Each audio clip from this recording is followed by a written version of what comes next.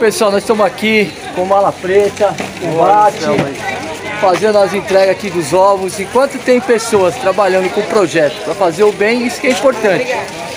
Eu acho que a ideia é essa, justamente ter pessoas que quando vê um papel no chão, ela vai pegar, ela vai retirar. E a gente sabe que nem todos são assim, mas tem pessoas que têm projeto na vila, que pensa no próximo, pensa na comunidade.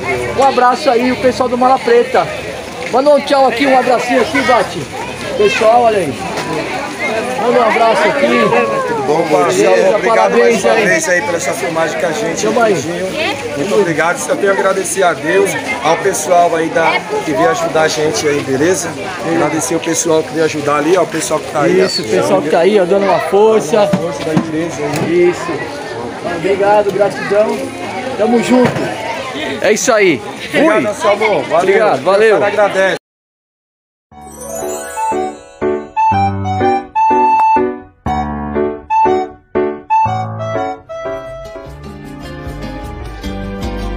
Quem nasce do lado de baixo da linha do trem